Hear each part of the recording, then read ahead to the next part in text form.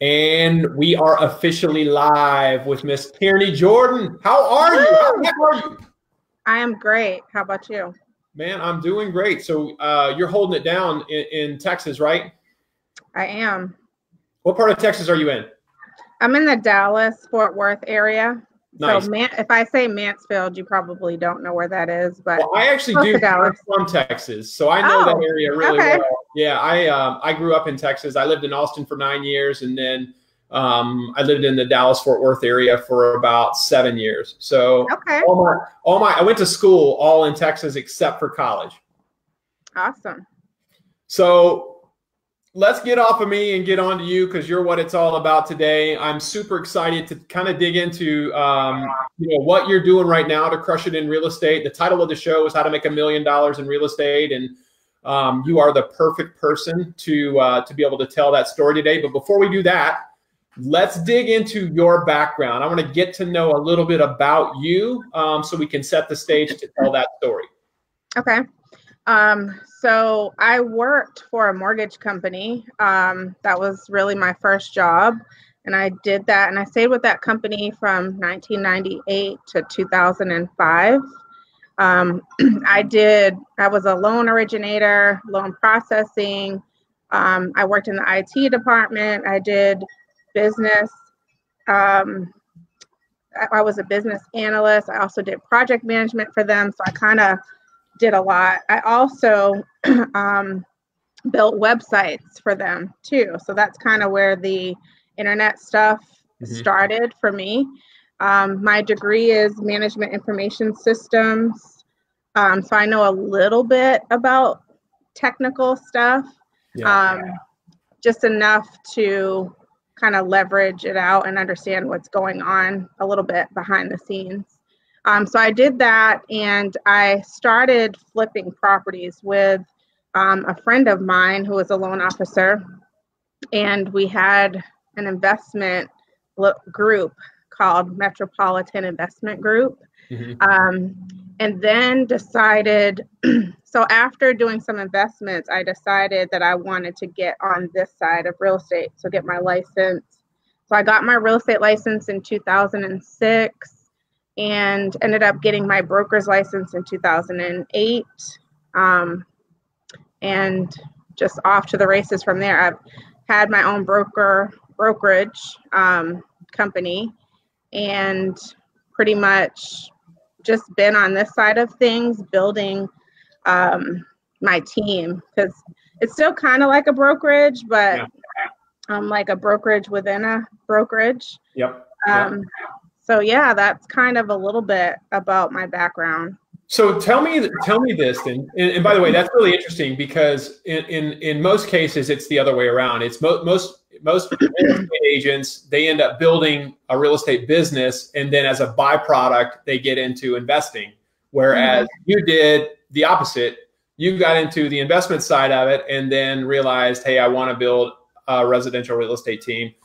Um, but I, I'm curious because you mentioned, you know, in your background that you were in the mortgage industry, which is real estate related, obviously. And I'm curious, what was it that, what did you learn in that industry, or when did you, when did it start to? Well, here, this is a two prong question. What did you learn in in in mortgages, in doing mortgages, um, that is still serving you now today? Um, I learned about the process, so I understand like how, um, if you have internal underwriting, how that benefits the process. Um, I understand how long it takes to do things. I understand the whole flow of a loan. Um, I didn't really work. I understand the appraisal side too. Um, I didn't really work with realtors directly a whole bunch um, when I was in the on the loan side of things um, because processors pretty much like handle a lot of the legwork um, of the the loan. I don't know if you're frozen or is. Oh, okay. There you Yeah. I'm here. go. I don't know if it got stuck. I'm I like, can just, I I can fool you. I can just stand really still, and you think I'm frozen. So, um, yeah, I didn't really have a, I didn't do a lot of interactions with realtors then. And um, when I was in it, it was more of like a refi boom mm-hmm. too. Um, so I think it's more so just understanding the whole process, knowing how things work, um, understanding the appraisal side of things yeah. too. And then I, I, I spent a lot of time in the IT department. So I built websites. So the first websites I built were loan officer websites for that mortgage mm-hmm. company. Yeah. Um, so that kind of serves me because I do a lot of internet marketing now. Um, so I guess that's kind of what I took from that piece right. of things. So Tierny, at what point then did you um, you were doing mortgages and you were obviously heavily involved in in in that part of the business. You were building websites. When did it click for you though? Obviously, you started flipping properties. So the, it, it, it sounds like the the evolution of your uh, your path has been mortgages, investment, and then residential real estate. You've obviously you're it, it, doesn't sound like you're doing mortgages anymore and, and that could be a conflict of interest obviously with the real estate side of your business just depending on what state you live in. Are you still doing the investment side of the real estate as well? Yeah yeah i still do the investment side. And i i didn't spend a lot of time as an originator. Um, i really got my loan officer license after I got my real estate license. So when I worked for the mortgage company, I went from doing like processing and that side of it to the IT department. Okay. So when I ended up getting my real estate license, um, I got my loan officer license because I couldn't find a good lender to service yeah. my clients the way I wanted to. So I'm like, I'm just going to get my license. But I didn't do a whole bunch, you know, on that side of things. Okay. So here's what I want to know. I want to know. I want to know what clicked with you. What happened to you um, to say, you know what? I want to. I want to go. I want to build a real estate team. Um, well, get, uh, well, first of all, did you get into real? Did you get your real estate license with the intent of building a real estate team? This is no. Okay. I didn't.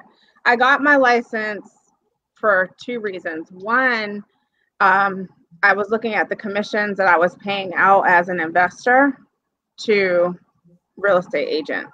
Adam so Bailey said, pull your camera down, Tierny. He said, pull it down. Pull it down. Like hey, that. Good looking out. Better? Thank you, man. Yeah, yeah, yeah. Okay. There, you there, you go. Sorry about that. I interrupted um, you. Go um, ahead. Yeah, so I got it um because one, the commissions, right, going out to the real estate agents, and I was right. an investor. And then too I really felt like there was opportunity because I didn't think a lot of agents were educating the clients well. And um, when I got my license in 2006, the market crashed shortly thereafter. Yeah. So there were, you know, there were, I felt like I could help the industry more too. Yeah. Yeah. From so an you, education perspective so when you got in when you got into real estate so you you were doing investments and then you thought uh, you know i i, I want to get into real estate and i, I want to actually sell properties. Like i want to i want to list and sell homes. And and and then there's so these there are these there are these evolutions in, in business right? So then you were the single agent operator right? And you were you're working with buyers and sellers and you're kind of wearing all the hats and then you know at some point something happens again right? Because it's this natural evolution where you you you you you learn about teams and then that becomes appealing to you and then you start building a team. So tell me how that transition was actually made. So i started doing reos um, and that was my bread and butter for quite some time. So it was just myself. And then um, I was with a brokerage that had the relationships with the asset management company. So I didn't have the direct relationship at the time. So when that brokerage decided they didn't want to have an internal brokerage anymore, they were going to outsource everything. They just got rid of that internal brokerage. Hence, all of my um, listings that I had were just gone, dried up that quick. Um, so I decided I'm going to build an internet based business. This was like around 2011. Mm-hmm. Um, I'm going to start marketing online. I'm going to get my own leads. I'm not going to have to worry about anybody else and my business drying up. right? So once I started building that piece, I ended up having way more business than I could handle. Um, so Which is not a problem, by the way. That's never yeah, a problem. yeah. So I'm like, I I just didn't have the capacity to service everything that we built. Um, and when I say we, I hired a marketing person. Okay. So it was myself and a marketing person.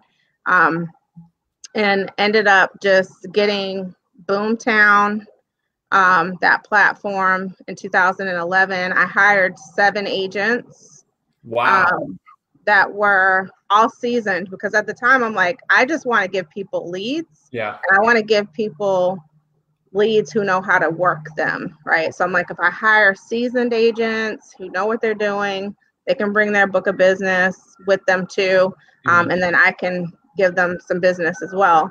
Um, so I think it was more just out of necessity. I wasn't thinking I'm going to have this brokerage and then I'm going to build this team. I really didn't go into it like that. It was just more out of necessity. Yeah. Yeah. So you scale pretty quickly, and um, you know, obviously, you're learning a lot along the way. Um, so, what was it for you? Like when you like when you really started to scale your business, and you you know you started to think to yourself, "Wow, this could really be fun, right? I, I'm uh, I, I'm I'm providing leads, I'm providing value, uh, people are buying in." What was it that that kind of that kind of kept you raising your ceiling? Like, how did you continue to, to, to keep your drive and, and, and, and, and shoot for the stars? I just I'm I'm a growth oriented person, so I'm never settled. I'm never happy. It goes both ways. I'm never happy with where I'm at in terms. I'm like I can always do more. I can always do better than I'm doing right now. Yeah. Um, so that's how I think. When I process things, I'm not thinking about today. I'm thinking about the future. So Okay. I'm already working on next year's stuff. Like right now as we speak, I'm not, you know, I do the things that I have to do day to day. Um, but I'm always thinking about what's next. Okay. So let, let, us dig in, man, to the title. Really, you know, the title is "How to Make a Million Bucks in Real Estate," and I, I'm I'm guessing that you know you have your your real estate team is not your only line in the water. In other words, you're generating multiple streams of income. But um, is the is the real estate team right now for you your kind of bread and butter? Yes. Okay. And so you're a forty million dollar a year producer, um, which is puts you in the top one percent of all agents in the United States. Um, what are you, what what where are you winning at right now in your in your real estate business? Like, what are you what are you really crushing it in?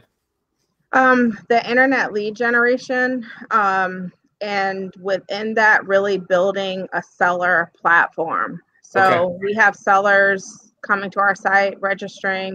Um, Right. We really don't drive buyer traffic; it comes organically Sure. um, through the sellers. So that I would say that's where we're killing it at, and have been for quite some time.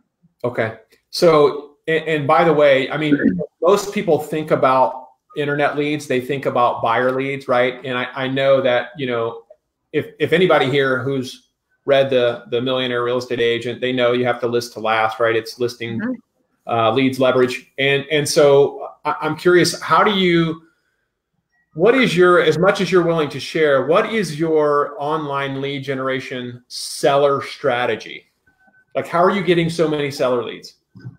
Um, we're just we're putting um, information out there that drives sellers to your site. So um, it could be like getting their property evaluation, Right. um, just different things. But that's like a common one. You know, you put out there your landing page for them to give their information um, in exchange for us giving them the value of their property. Right. So Yeah, what percentage would you say is is is online leads? What'd you say? I'm sorry. What percentage of your business would you say is is online leads? Um, about fifty percent, because we get past Okay. clients and we also get referrals. But it all started with the internet stuff. Okay.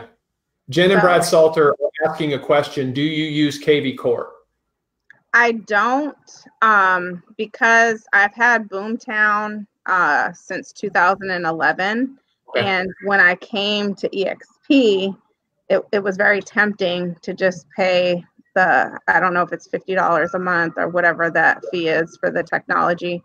Um, it was very tempting to not have the Boomtown expense, but I have so many leads and it just would have been a nightmare trying to migrate them over. Yeah. So I, I don't use it and we're the same way, by the way. We use Commissions Inc. and we had 20, I want to say we had 23,000 leads in our database, which would have just been a logistical nightmare. So we did stay with Commissions Inc.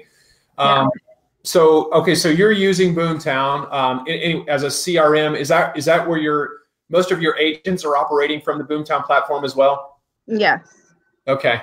All right. And and so you guys are you you have these seller lead registrations. They're coming in and do you do you disperse those amongst your agents? Do you have an ISA team? How do you how, how are you having those leads contacted within the first five minutes? So my agents are there. Um, I've done ISAs, I've done virtual ISAs, I've done in-office ISAs, I've done train your new agents as an ISA. You know, um, and it doesn't work, does it? None of it works well, Adam Bailey will probably say um, differently because he's one who has mastered that piece of it. Um, for me, I guess I just never wanted to put in the effort that I needed to put in to get the ISAs up to where they needed to be yeah. um, to convert. So I'd rather just train the agents. Um, so the agents are doing that. So they're required to come into the office if they haven't met their minimum standard to be on the team, which is two transactions a month. Um, mm-hmm. And then most of them still come in anyway, even when they hit their numbers. Okay. How so long are they? In the office? So from eight to 11 or 12. Okay.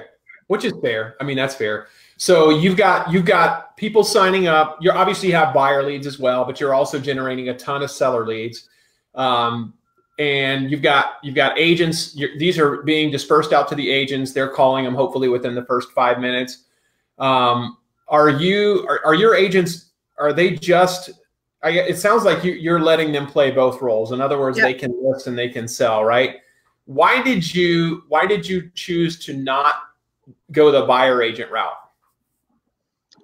Um, I give people opportunity, you know. So I, I never wanted to be like, are you asking why didn't I be a buyer's agent or why don't I no, no, have buyer's agents on the yeah, team? Because, you know, you're, and, and by the way, we did this too, and I can I can share my answer with you as well. Um, but you know, in in traditional models, most of most people have a, a buyer agent and a listing agent, right? And then right. And then a showing agent or something something like that. Um, but you decided just to you're you've you've hired agents and you're giving them the opportunity to do both, right? Right. Yeah, I don't like putting people in a box, you know. So now they have to prove themselves in order to earn the opportunity to yeah. get this seller lead, you know, platform. Um, but once they do that, then it's on them. You know, I don't I don't want to put somebody in a box and say, "Oh, you have to be a buyer's agent." you know. Right. So that's okay. really why I don't want to limit people. And and Tierny, what are you doing for like accountability? Like you've got all these different leads coming in right now, um, which I mean is is I'm, I'm, sure a little chaotic in that you know well you're creating all these opportunities. You've got a, a huge team. How are you how are you how are you holding each one of these agents accountable to making sure not only do they follow up within the first five minutes, but they continue to follow up after that? Um, I have auditors that audit our pipeline. So I can see if they're not being followed up with, um, and if if our process isn't followed, um, then people are taken out of the system. Okay. Is this something? Uh, you know, it's so funny because we think like with the ISAs, and I shouldn't have said it doesn't work because the reality of it is if you if you if you hold that system accountable, you can make it work. Um, mm-hmm.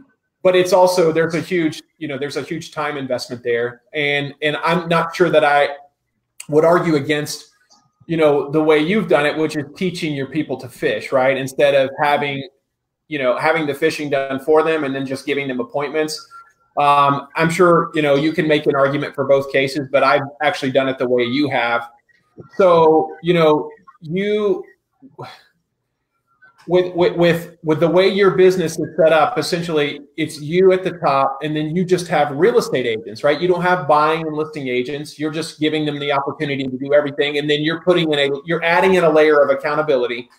And and so i'm sure what you've noticed is right the people that follow your system are the people that have the most success. And mm-hmm. then the people that follow it you know to 75% they have a little success. And then the people that don't follow it at all they don't have uh, they have very little or no success at all correct? Yeah. And i look at it like i'm in i'm in partnership with these people. You know we're business partners. And my role in that partnership is i've created the systems you know. I create the systems i provide the leads. You know i'm the rainmaker in the in the business relationship. Um so i don't look at it like i'm at the top you know of everyone but it's just business partners and um, i'm a systems oriented person you know? Um, so that's what i'm good at and that's where i like to play around is creating the systems um, and working with people who want to work within that system yeah. that makes sense yep makes perfect sense so are you still going on appointments or are you just operations now I do. I'm not really operations either. Um, I have an operations guy um, that we share in our network. Okay. Um, so I I'll go on appointments really just to stay up to date with what's going on in the the market because I teach, I coach, I train. You know, so I want to make sure that what I'm saying is, you know, like I said, I'm always thinking ahead. So we're always shooting. We're definitely yeah. trying to stay relevant. Yeah. Yeah, definitely staying relevant. So are you doing one-on-ones with your agents? Um, I don't do one-on-ones. Is it group coaching? Mm-hmm. Okay. And, yeah. and and so how do you come up with the material for for each one of those sessions? Um, it just depends what's needed, you know. Um, so we we've been digging into the disc like the last couple of weeks um, in our sales meeting because a lot of times people don't know how to build rapport and um, you know they could be in there making calls all day but if you can't connect with people and you don't know how to um, identify somebody's disc you know and match them uh, and and get them to open up then you'll struggle you know same thing with a face to face so we've been digging into that. So it really just depends on what I see is needed. I have a whole database of training material that they have access to. So I have videos on pricing, you know, listing presentation, me making live calls. So there, a lot of it is just a system that I've developed, um, and it's already there. It's already yeah. built. So, um, what what do you think is the biggest challenge for you in your business today? Um, I would say the biggest challenge is uh, maybe retention um, because I give people so much and teach so much. I don't hold anything back. Yeah. Um, people leave, you know, because I yeah. can make you a rock star real quick, like in a year. I can take you from nothing to making over a hundred thousand dollars in a year, you know. Um, so w- being at EXP though, that's not a problem anymore because they leave, they're still, you know, in the network and still earning revenue share off of that. Yeah. So it's a challenge. Retention is a challenge when you're running a team especially when you give people everything and you're not limiting them. You know, uh, I think a lot of times, um, you know, when you look at the MREA book, for example, it talks about you being like you holding the listings. Don't give those listings up or have one listing partner, you know, because you're giving away control. When you allow people to do listings, you're teaching them a skill that could allow them to just go do it on their own if they choose to. Um, yeah. But I, I, be, I come from a place of I, I, I'm a big believer, and you get back whatever you put in.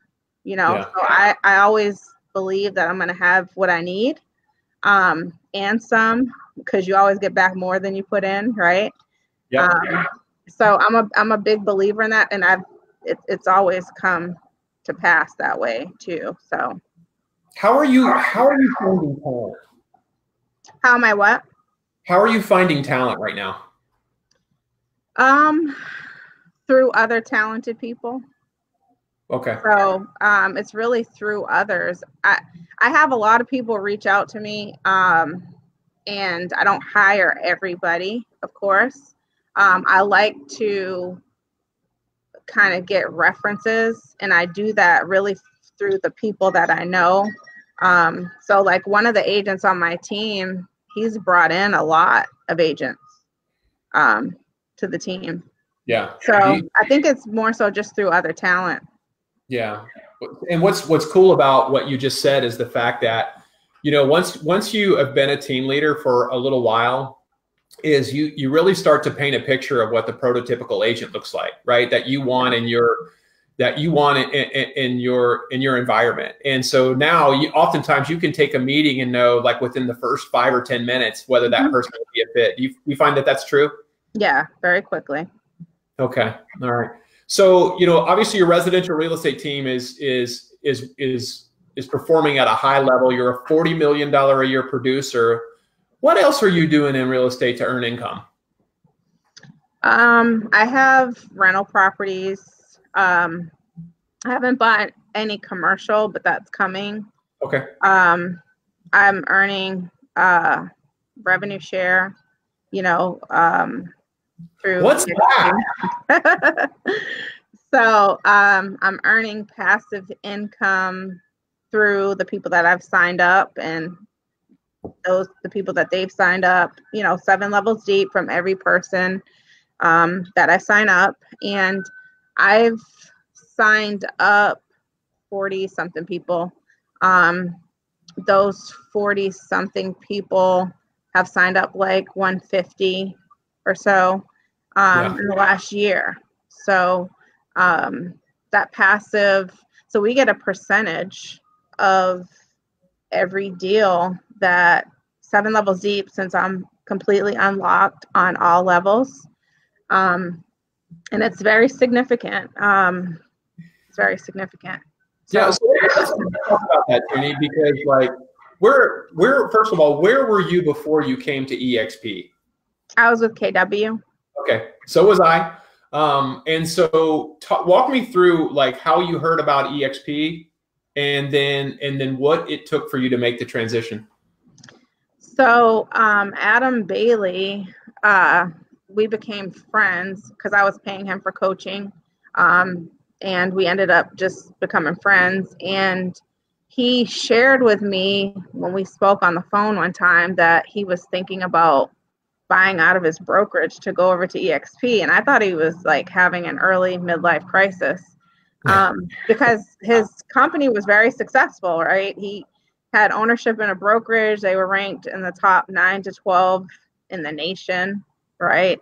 Um, they had started expanding into other markets. So I'm like, why would you do that? You know? And he was like, I just, because him and I had talked about being in partnership um, but we couldn't figure out how to make it work within the structures that we were involved in. You know, I was at KW, he had his own independent brokerage. It really just didn't make sense, you know. So he was yeah. like, you know, what we've talked about in terms of com- coming together, building a business together, like we could totally do that there. And I'm just kind of like, like I didn't see it, right? But I didn't really know. Two weeks after that conversation, one of the top teams at the market center that I was at, and we were number one in profitability in the mm-hmm. nation. Mm-hmm. Um, that KW that I was at, and we had about 800 um, agents at that office. So the number one person there um, announces, and he had been there. I, I don't even know how long he was there. To be honest with you, I know he had ownership in that market center, and he was there for a long time. Okay, he announces he's leaving to go to EXP. So I'm like, okay, Adam says it. No, he's leaving. I need to at least look into this opportunity and yeah. see why, you know, what's why are these people that run really strong businesses going over to EXP?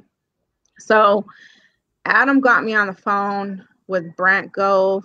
Brent invited me to Mexico um, because they had like a leadership thing going on there.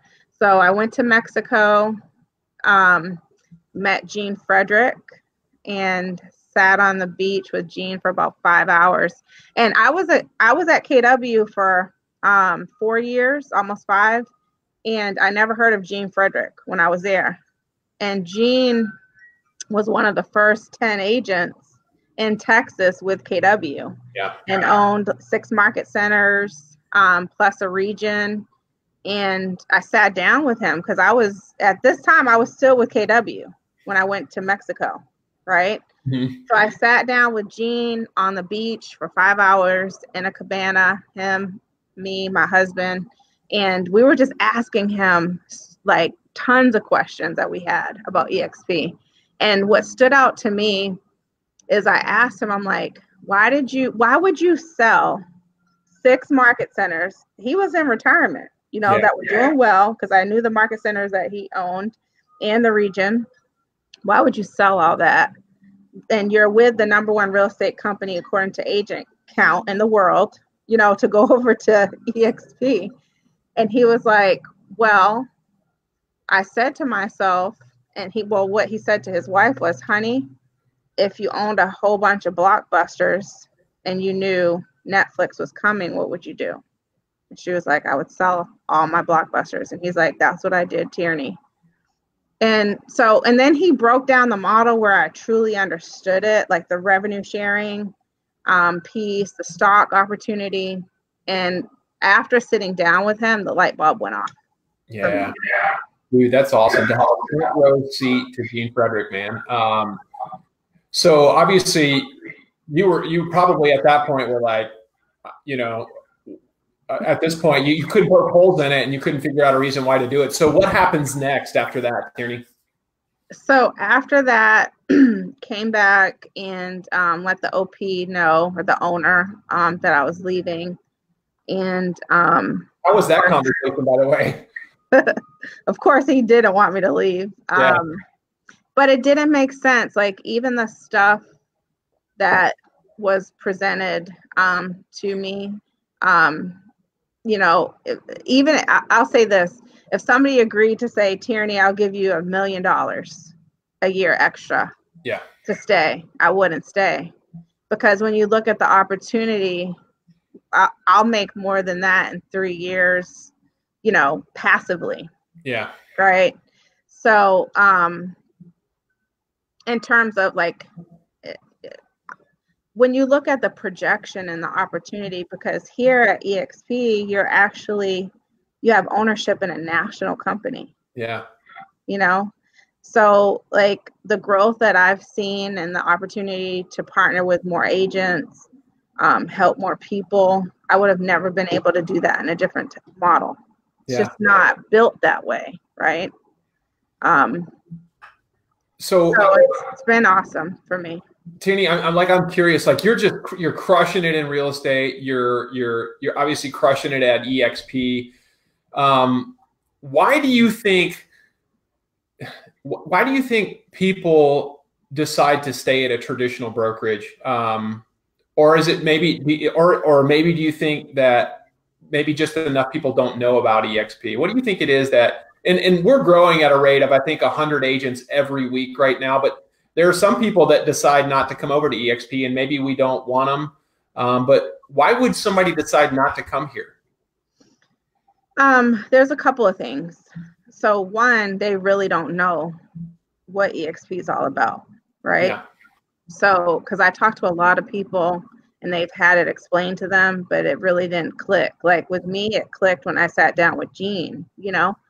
Um, so they really don't understand the opportunity. Or two, it's because they don't have an ownership type mentality, right? Yeah. So this company is for owners. This company is for business and I'm not dogging anybody else, right? I'm not saying if you don't come to EXP that that you're not great, Yeah. It could be great, but but this is not easy.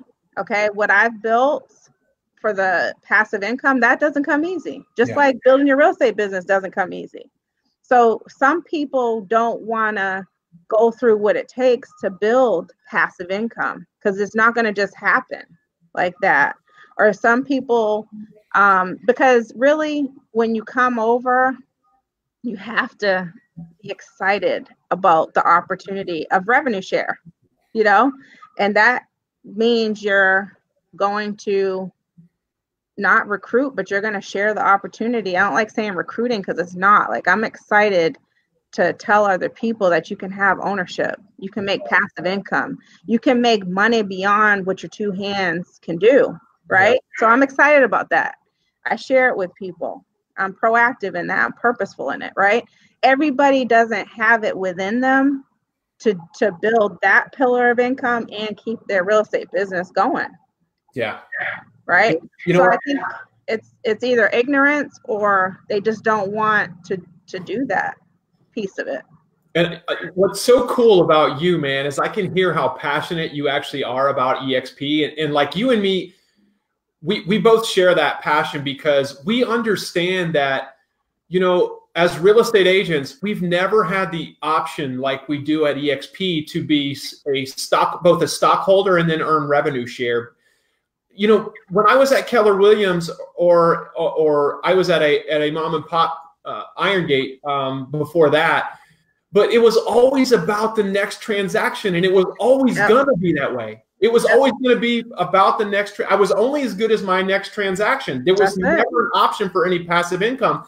And listen, for for you KW folks, I get it, right? You're going to say profit share, and and here's what I would say to that: profit share was great for those people that got in early, right? We know those people, and they're earning you know really good money.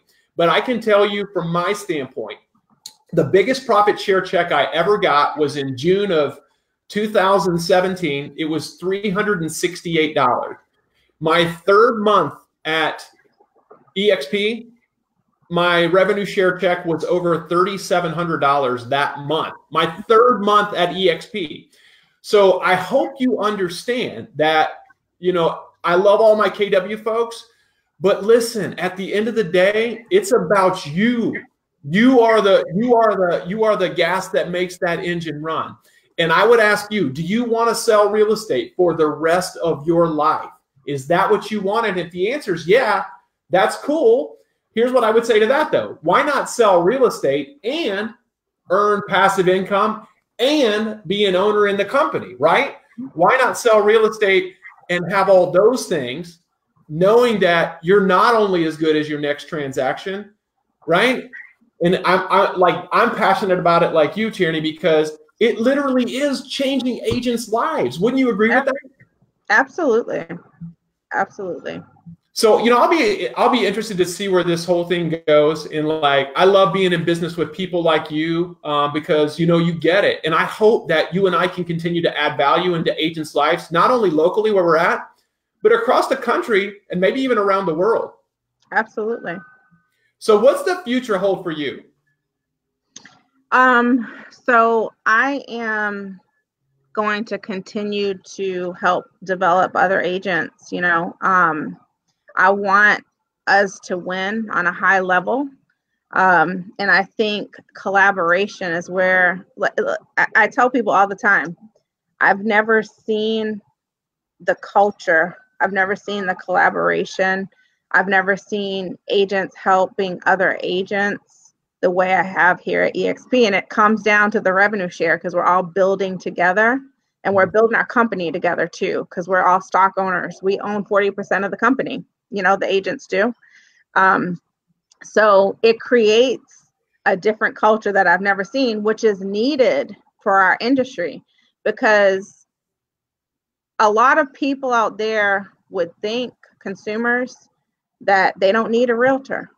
You start listening to these commercials, and part of it is because we've done a poor job. You know, there's a small percentage of, of realtors that do the majority of the business. That needs to change. We need to get more people out there bringing value so that technology and disruptors can't provide the value that we're not giving, right? As a whole. So my future um, holds myself continuing to educate others and passing knowledge down. So, and sharing my information, sharing everything that I've done so that people can do the same thing, right? Um, I'm also building passive income. Um, I'm getting into the commercial side. I've started doing a little bit more luxury. So I'm, I'm challenging myself to do things because I like to build systems around those things and share them with the people that I'm in business with. Um, so I'm creating other pillars um, of business and sharing everything that I know with the people around me.